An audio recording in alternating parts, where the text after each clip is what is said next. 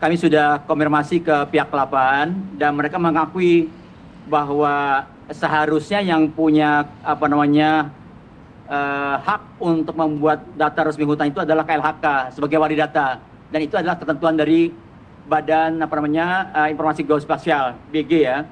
Kemudian juga setelah dilihat oleh lapan ternyata metode yang dipakai juga tidak sesuai dengan metode standar yang berlaku SNI. Kemudian juga data yang berkembang itu adalah data koreksi. Sementara yang di tempat kami adalah data apa namanya real ya.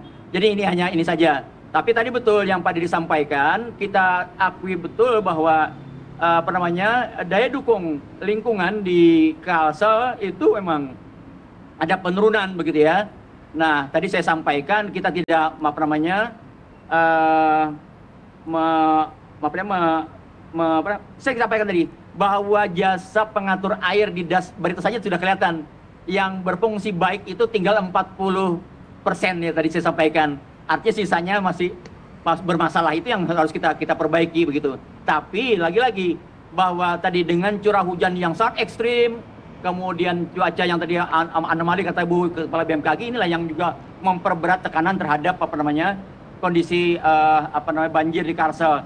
Nah, saya ingin sampaikan lagi dari data yang ada juga.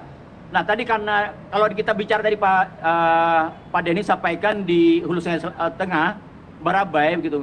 Itu memang ada lereng apa itu lereng ya.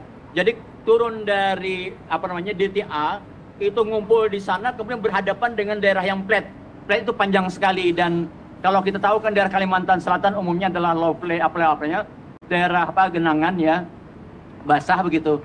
Sehingga memang memang harusnya ya menahan air begitu. Tapi ini yang luar biasa gitu. Jadi ini kondisi apa namanya real yang ada dari di di lapangan begitu. Demikian Pak Pak Pito.